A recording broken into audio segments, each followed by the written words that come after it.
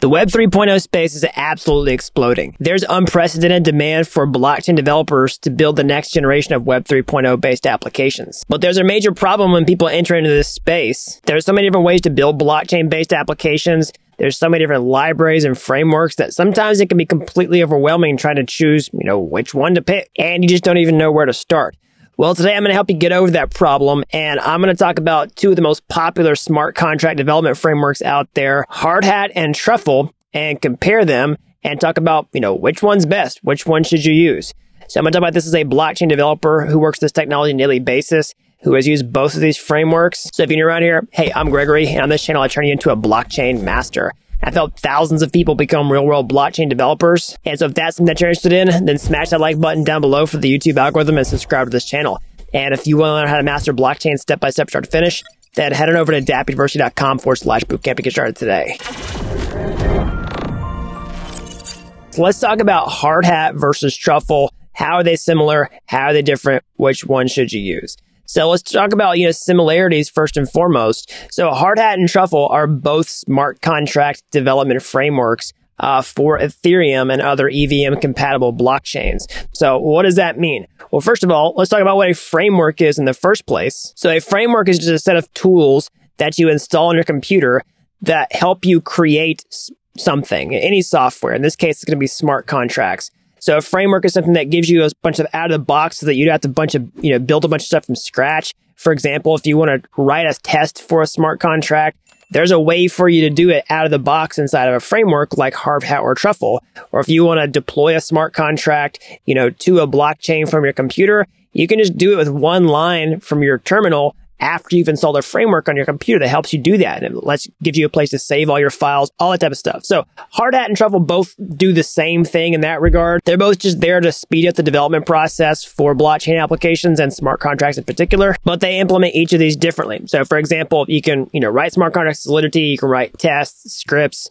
connect the nodes. They're both they're both JavaScript based. So let's talk about the differences and which one do I use, like which one should you use. Well, first of all, let's talk about how my background. I've used both. So when I first got into space, you know, Truffle was basically the only option. But since then, you know, Hardhat's come onto the scene has been getting a lot of popularity. And so when I saw Hardhat rise into popularity, it's definitely something I wanted to check out. At the end of the day, I'm here to educate you all and support what's in demand and what people want to learn. So you can see the trend change over time. Like you can actually look at the NPM downloads here. You can see, uh, you know, the weekly downloads for Truffle, the current trend, and the current trend for Hardhat, you know, which has been growing uh, significantly. Okay, and so you can see that the total weekly downloads from Hardhat has actually surpassed Truffle, you know, since it's been released. And so now we have real competition in the space, which we didn't have before. So now let's talk about each of these two and you know how they're different, and then move on to my thoughts about which one you should choose and how to pick the best one for your project. Okay, so let's talk about some concrete differences between Hardhat and Truffle. And for this section, I'm actually going to use code examples. Okay, so I'm actually going to pull up two different public repositories and uh, the Dapp University uh, GitHub repository that corresponds to tutorials we've done. One project is created in uh, Truffle and another project is created in Hardhat. So you'll see some of the differences outlined there. Okay. So uh, you can check this out. It's the ETH swap tutorial and the Decentra Twitter tutorial. So you can just go to the repository, you go to the organization and find those. So the first thing I want to talk about is debugging capabilities because this is one of the things that made Hardhat famous uh, was essentially the ability to see what's going on inside your smart contracts a lot more easily, okay, or in a way that developers are familiar with. So, uh, it, Solidity has been notorious uh, for being hard to debug. Okay, sometimes it doesn't, you don't know what's happening inside of a transaction. Whenever it fails, like you just get an error message. It's really hard to know what's going on. So Hardhat got really famous with their console.log uh, feature for Solidity, which this programming language does not support out of the box. Okay. So basically what it does is it lets you import uh, a, a, library from Hardhat called console.log, and then you can actually put a console.log statement inside of your Solidity functions, kind of like you could in JavaScript, right? So people have a JavaScript background, be very familiar with this, and a lot of people with JavaScript background are baffled that Solidity did not have something like this out of the box. Okay, so uh, you can see how that works in the Hardhat tests, and you can see that uh, inside of your uh, inside this Decentra Twitter, if you go to the contracts page, you can see the console.log, uh, you know, here. Okay. So now, uh, Truffle definitely has debugging capabilities. Um, they have gotten better over time. Uh, but uh, I'm going to give a point to Hardhat in this regard for that capability out of the box. That was one of the things they got famous for in the first place. I think they do a good job of that. However, Truffle does have, uh, you know, some good debugging tools as well. It just works a little bit differently. All right, so let's talk about one big way that I think these frameworks are different. And that's the idea of like an opinionated framework or not. So what does that mean? Well, basically an opinionated framework says we have an opinion about how you're supposed to do something. And we, you know, like just, if you just do it that way, it makes everything easier. For something that works differently, where it's sort of like, well, we want you to configure it how you want to use it. Okay. Now, in very broad brushstrokes, okay, now, very broad brushstrokes here, I would say that Truffle is a little more opinionated than Hardhat is. Now, Hardhat has some default settings out of the box. If you want to just set it up and use it, you can use it that way. Um, but I would say Hardhat's definitely more on the configurable side if you really like to tweak things in your framework. Okay. So me personally, I don't love to just tweak things. I kind of like just get something that works. And it, as long as it works well enough, just like keep doing it that way. All right. But if you like, if you have strong preferences or you like to experiment with things, then Hardhat, um, you know, I would say is more configurable than Truffle is. Truffle is still configurable. You can still do things like use plugins, but there's some things a little bit harder to change. So you can see that here inside of Hardhat. Um, you know, if you like, if you just love using Ethers.js, you know, just use the Ethers.js plugin. If you really love Web3, just use the Web3 plugin. It's, it's, it, Hardhat makes it pretty easy to configure in that regard. You just say, use this first, use that. And then boom, your entire f- framework switches gears. Or something like, uh, Truffle, it's, it's got plugins. Okay. Um, you can see how to do certain things like that, but it's a little bit harder if you just like say, Hey, I don't want to use Web3JS, which is the default for Truffle. I just want to switch over to Ethers.js. That's a little more tricky to do. Okay. So you can see the list of, uh, Hardhat plugins that are, you know, uh, supported here. You can also check out Truffle's plugins. But in the terms of like sort of the opinionated sort of side of things versus not opinionated, another way in which that uh, kind of expresses itself is in how you know Hardhat versus Truffle handles smart contract deployments. Okay, um, so basically, like if you want to put your smart contract on the blockchain for Truffle, uh, you need to create something called a migration. And so there's this migration folder and Truffle has a really particular way that it uses its migrations with actual migration smart contracts. You always have to have this migration contract that's like managing, you know, where the addresses are for the uh, contract you just created. Okay. You have to kind of use this really specific uh, syntax for, you know, migrating your smart contract and they go in this special folder. They have to be numbered, all that type of stuff. So Hardhat's a little bit different. Okay. So Hardhat really just uses this catch all scripts folder to, to do any blockchain scripting, okay, within the deployment, sorry, within the framework itself. And that's where you'll see, uh, basically, uh, your migrations in many cases or your deployment scripts where you put your smart contracts to the network. So if, if you do a deployment, then it's going to go in the same directory as a script that you would use to, I don't know, let's just say like, you know, move some tokens around. Let's say you had a script where you want to interact with the blockchain from your project. It's going to go in the same folder as your deployment script.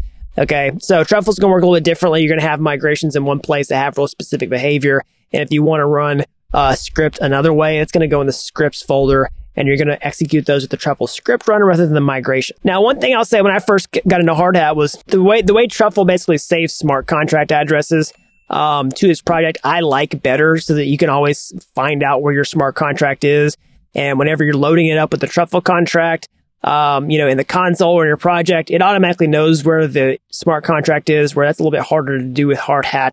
Okay. Now, that being said, if you're using the Hardhat node, uh, it will save the same smart contract address every time. So that is a little bit of a, a saving grace in that regard. All right. So another difference I want to talk about between these two projects is their support for development blockchains. Okay.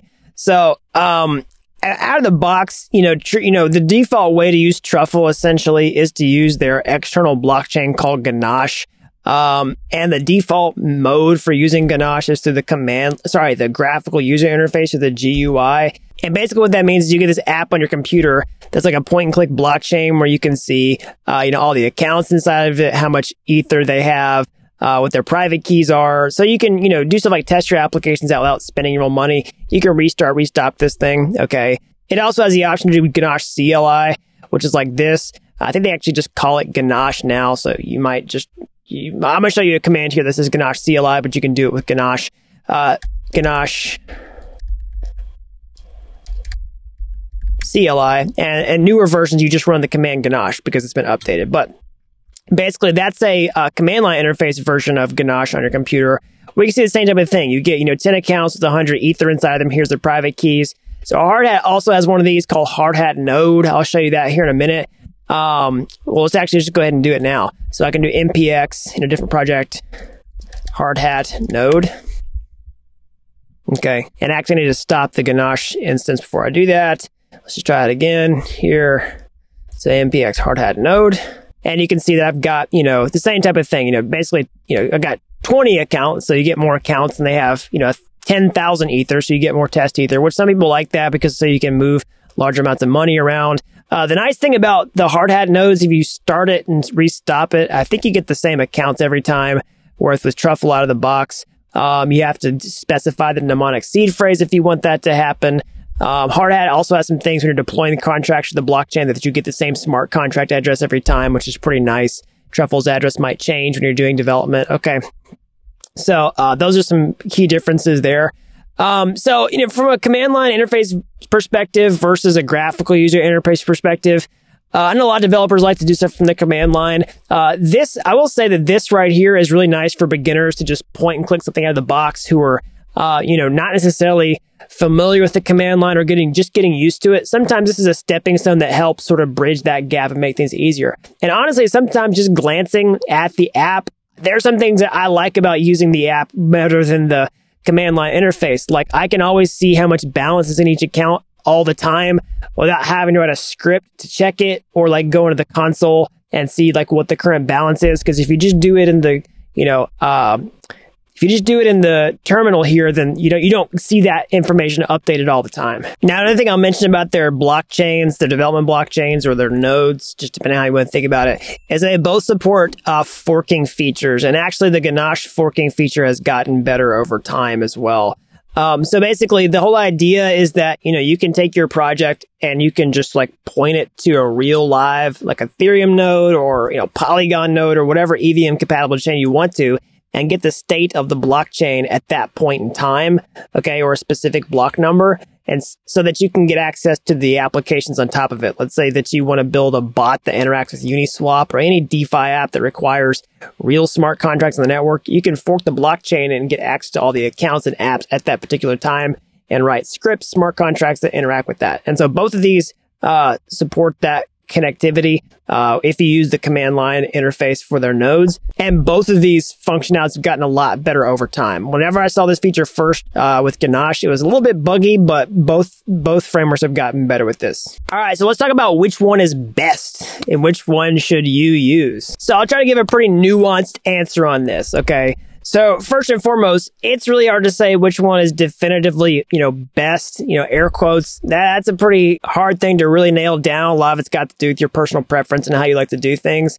Now, what is the market telling you from a demand perspective? Which one's best? Well, the market, if you're looking from NPM downloads as a metric, then there's more NPM downloads for Hardhat than there are Truffle, and the trend is growing for Hardhat versus Truffle. So that's what the market looks like. Now, the real question is, do you fall in the category of what the majority wants? Now, I will say this. Um, if you're trying to build a project for the first time and you're starting from scratch and it's going to be a big project, then choosing the right framework is important, okay? Because the cost of switching later can be pretty high, okay? But if you're not there and you're just a beginner and you're just trying to figure out what should you build, okay, and, and what should you use. So you're not sitting here like all day, like Hardhat or truffle, Hardhat or truffle.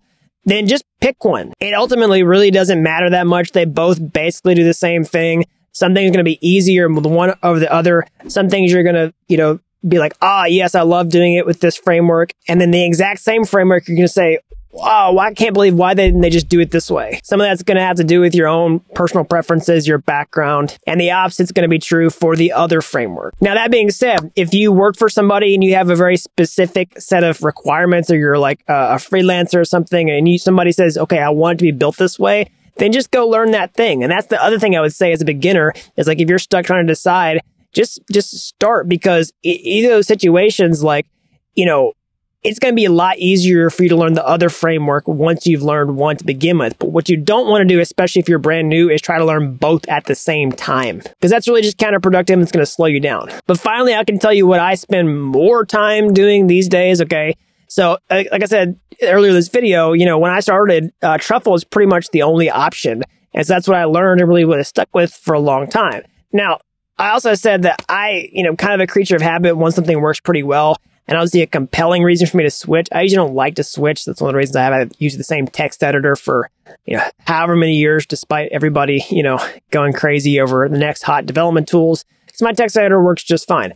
Uh, now that being said, uh, I do like to make tutorials for people who want certain technology. And because Hardhat's gotten so popular, I spent more time doing things in hard hat because, you know, that's what the market um, has started to demand quite a bit. And I want to stay relevant with that market to help you all learn, you know, what's in demand. So if you want to continue to follow that where there's more support and more demand, then you can definitely start building your projects that way. But at the end of the day, you just want to learn something and you want to get really good at it. And it's just got to work well enough. So Hope you like this video. As always, smash that like button down below for the YouTube algorithm. Subscribe to this channel if you haven't already. That really helps these videos out so the more people learn about blockchain. And if you want to find more, you know, uh, projects like this that are built with both Hardhat and Truffle so that you can see, you know, how each of them works, you can definitely go to my YouTube homepage. You can find my free courses there. They're like Udemy courses, but they're totally free.